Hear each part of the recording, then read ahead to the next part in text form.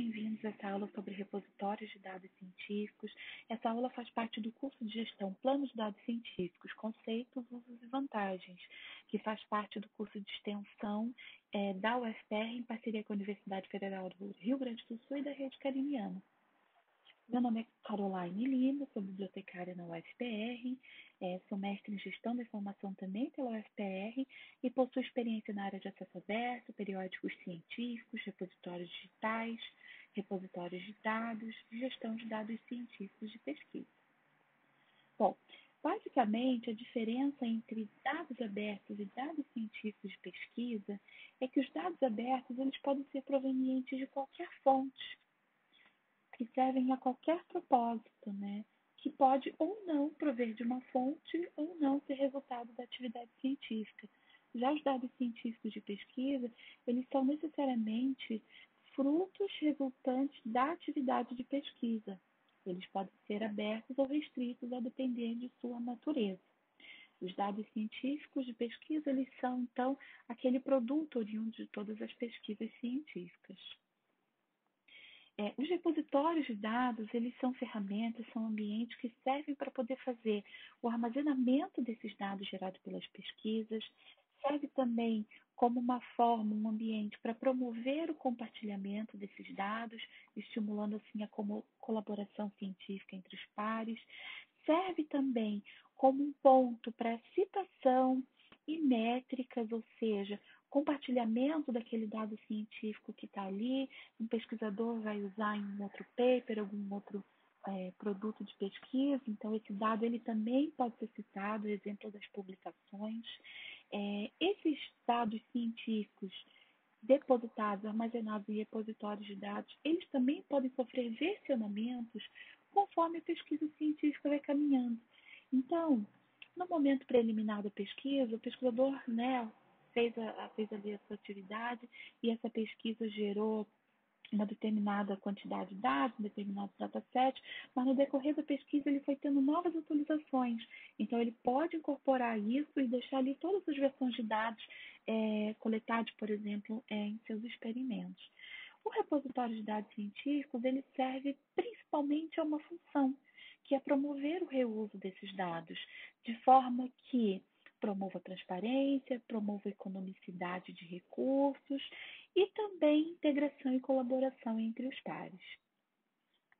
É, basicamente, nós temos três tipos de repositórios de dados: os multidisciplinares, que são os dados que servem a diversas áreas do conhecimento, os dados disciplinares, que atendem a áreas específicas, e os repositórios genéricos, que são repositórios de dados abertos em diversas áreas, podendo ou não ser científicos. Como repositórios genéricos, nós temos o Zenodo, o Figshare, o Mendeley Data e o GitHub. Desses, talvez o GitHub seja mais famoso pela comunidade de desenvolvedores, porque basicamente é um repositório que armazena código, fontes e arquivos de software e sistemas desenvolvido por uma ampla gama de pesquisadores, acadêmicos ou não.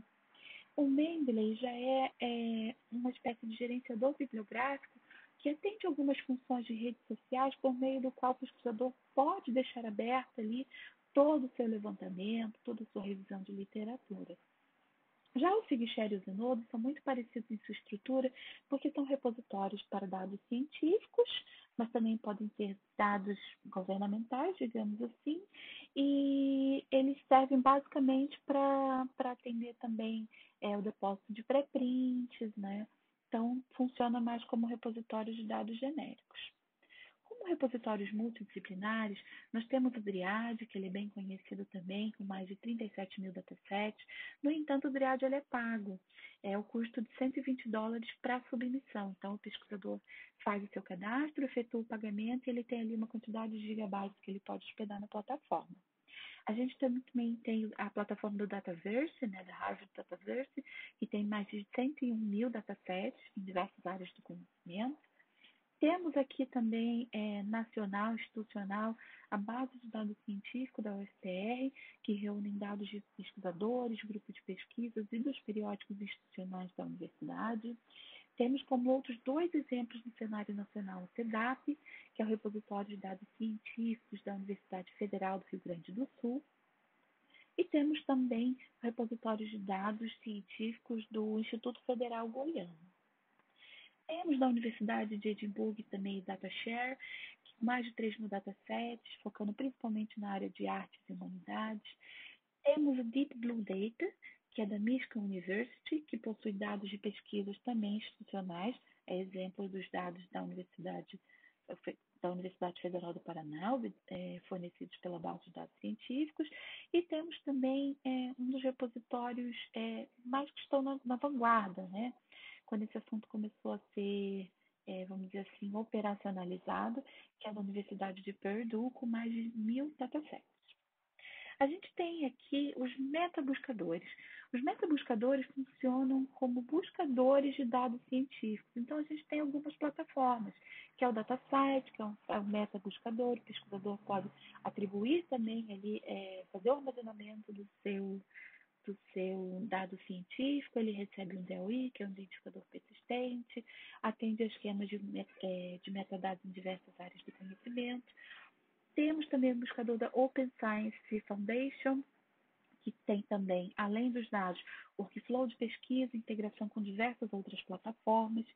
Temos uma iniciativa nacional da FAPESP, que reúne o metabuscador de dados das universidades do estado de São Paulo, e talvez o mais conhecido deles, o i3Data, que é um diretório de repositórios de dados. Então, é o mais comumente pesquisado quando o pesquisador quer saber uma fonte para procurar o seu dado ou verificar qual país, é, é, qual universidade possui repositórios de dados de pesquisa, o R3Data é uma fonte é, bem completa, que possui classificação, estratificação por país, por tipo de dado, por tipo de instituição, então é, é bem comum.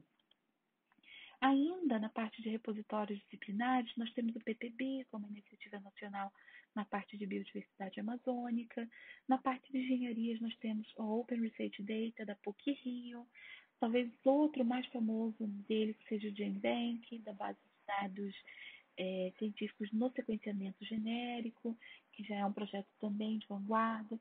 E mais recentemente, agora durante a pandemia da Covid-19, é, elaborado é, no ano de 2020, a gente tem o Covid-19 Data Sharing, que é, são os dados relacionados à Covid, em colaboração com hospitais, clínicas e institutos de pesquisa que estão pesquisando a Covid-19. Temos o como repositórios disciplinares ainda da NASA, Science Data Coordinator Archive na área de astrofísica, temos é, o International Ocean Discovery Program na área de geologia marinha e oceanografia. Temos na área de ciências sociais o ICPSR, que é bastante relevante, é um instituto bem atuante né, nos Estados Unidos. E aqui no Brasil a gente tem o CIS, que é um consórcio de informações sociais mantido pela USP, Universidade de São Paulo, é, que tem um banco de pesquisas e dados na área de ciências sociais. Temos também o INMET, né, que são dos dados meteorológicos, quando a gente vê no jornal, no nosso celular, a previsão do tempo é do INMET, essa principal fonte de dados que, que faz a normatização desses dados no Brasil.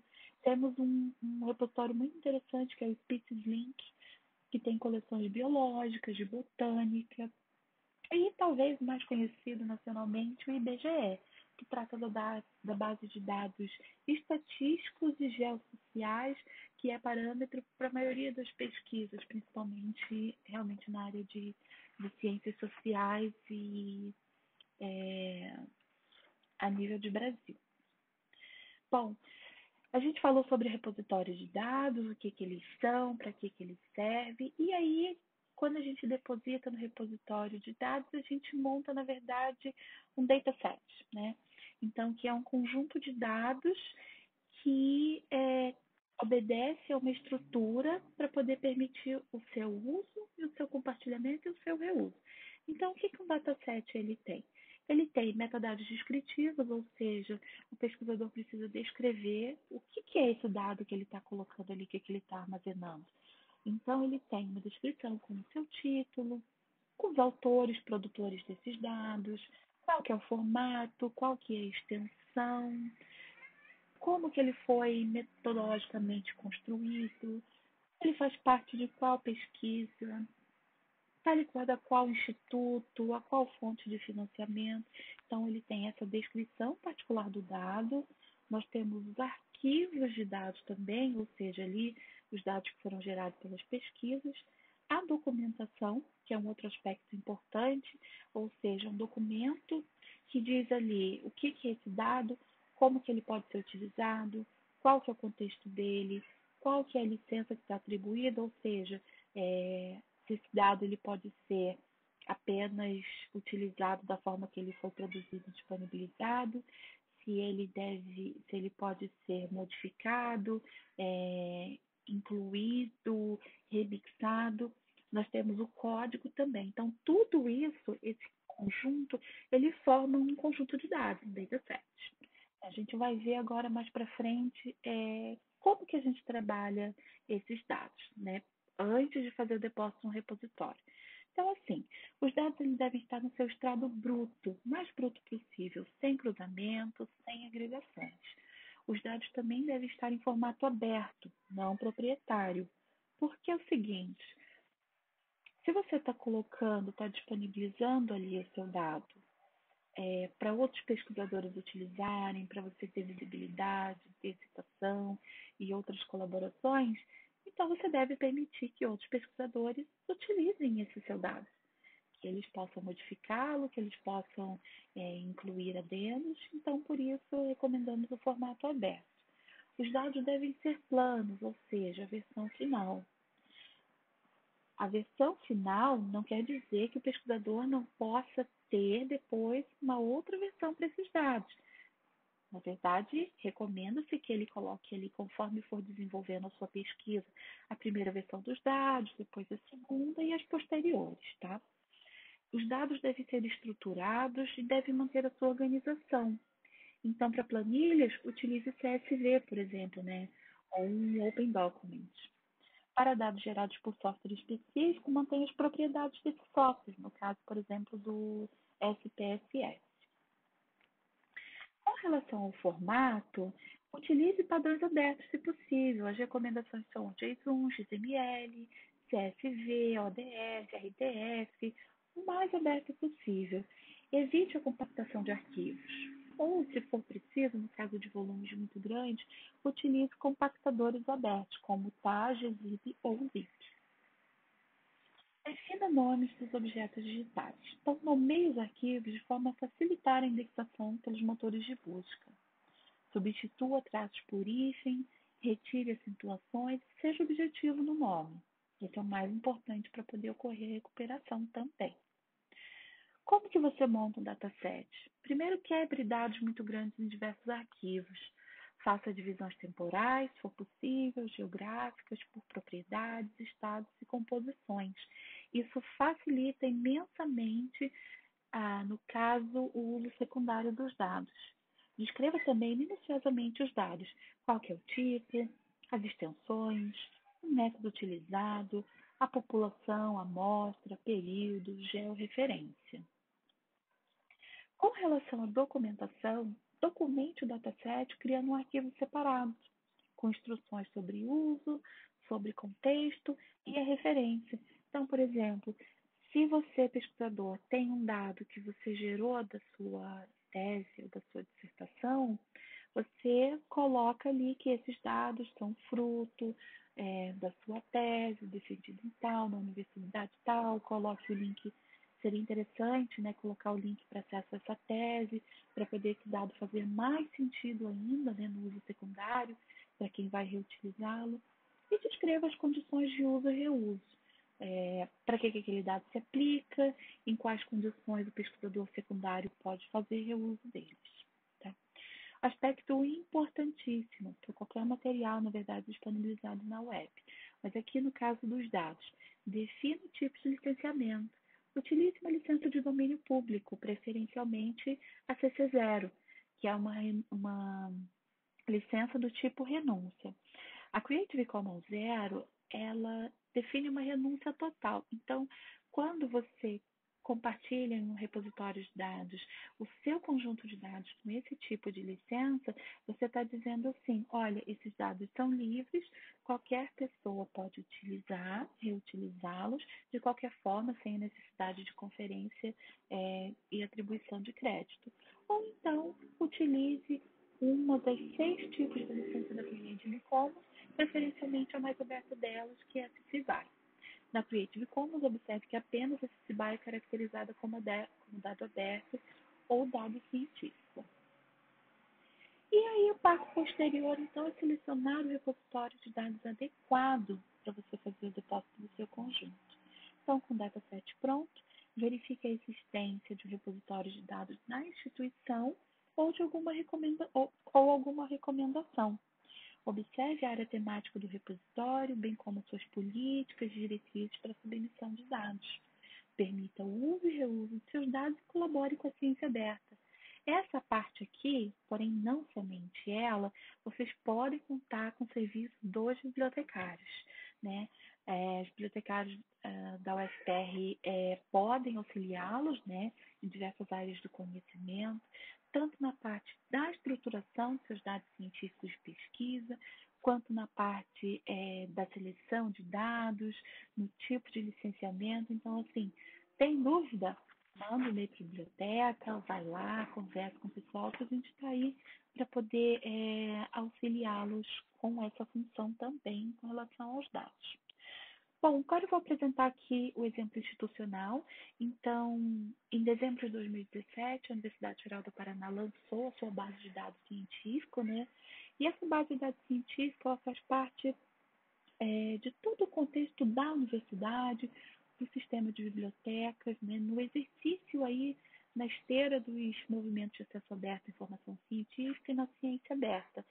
A Universidade Federal do Paraná é pioneira no lançamento do seu site Portal da Informação, do seu repositório é, digital institucional em 2004, Biblioteca Digital de Periódicos, Biblioteca Digital de Eventos, apoio ao Programa de Práticas e Recursos Educacionais Abertos, o Programa REA Paraná, e o último produto, então, do repositório do RDI, da UFR, é a base de dados científico, né? É, então, ela é uma base de dados científicos em acesso aberto, que está à disposição de toda a comunidade, e aqui é um exemplo de como que, como que ela funciona. Então, aqui nós temos um exemplo, na verdade, né, de um dado científico que foi depositado. Então, ali nós temos o arquivo, ó, no caso ali, a survey, né, que foi um instrumento de coleta de dados, nós temos os resultados, que são os dados científicos de pesquisas, e a gente tem a documentação. Então, aqui na tela, no lado direito, tem o arquivo de documentação ali, né? É, dizendo bem completamente como, como está estruturado o arquivo, qual é a linguagem, como está estruturada a parte de data, como está nomeado os arquivos, como que funcionam as tabelas, as colunas. Esse é um exemplo, um outro exemplo, não desse dataset, mas exemplo de um outro dataset é, que foi submetido na base de dados científica. É, como referenciar o dataset? Ele não é muito distante de uma referência é, de documento eletrônico, de artigo científico. Então, os elementos básicos são autor, título, data de publicação, edição, versão, o tipo do recurso, no caso, né, designação do material, dataset, quem é o publisher, ou seja, quem está publicando esse dataset, e a sua localização ali, é o identificador persistente. Então, a gente tem dois exemplos aqui. É, um exemplo aqui que são dos dados da minha dissertação, ali já com, com o DOI, né, é, para não se perder. E a gente tem no formato ABNT, e a gente tem também no formato APLA um exemplo ali da professora Paula e da nossa colega da Fabiane Fi. São dados sobre a produção científica, também ali com o, com o DOI. Tá? Como funciona então a submissão de dados na base de dados científica da UFR? Em primeiro lugar, é preciso fazer um cadastro. Esse cadastro deve ser feito encaminhando o um e-mail para bdc ufpr.br, encaminhando o seu nome, encaminhando qual que é, é o tipo de dataset que você quer depositar, né? Esse, o suporte que vai atender o e-mail, ele vai dar ali o acesso, que é o login e a senha para o usuário fazer ele mesmo a autossubmissão do seu dataset. Então, o usuário, ele de acesso, né, do login e senha, ele preenche, passa por uma etapa de armazenamento, que é a submissão, então, tem um formulário de descrição, né, para poder descrever ali os metadados desse dataset. A parte de licenciamento e publicação, então. É, passo seguinte, então, o, o, conjunto de dados ele já está disponível para uso e reuso, né? Ele vai receber um DOI, que é para ser utilizado como link de compartilhamento e citação, e a gente tem aí a divulgação dos dados, tá? É, então, eu espero ter esclarecido um pouco para vocês que participaram dessa aula o que são os repositórios de dados científicos, para que, que eles servem, como estruturar é, de uma maneira, no caso aqui foi uma abordagem mais básica, de como estruturar um dataset para poder submetê-lo né, a, a, um repositório. E assim, gente, é, pesquisa desenvolvida com recurso público, ela deve ser pública esse resultado não apenas nos artigos, mas os resultados é, dos, do, dos, dados necessariamente, né, que são que são assim, é, vamos dizer assim, a, a, parte nuclear da pesquisa acadêmica, né? Então eles devem estar abertos para outras pessoas reutilizarem, até para conferir visibilidade para para o pesquisador que criou esses dados, para o seu grupo de pesquisa, para a sua universidade, né? Então, é isso que eu queria falar para vocês hoje. Aqui estão algumas das referências utilizadas. Vocês fiquem à vontade para poder é, utilizar essa apresentação depois. Ela vai ser submetida em repertório da UFR, então vai ficar aberto para todo mundo.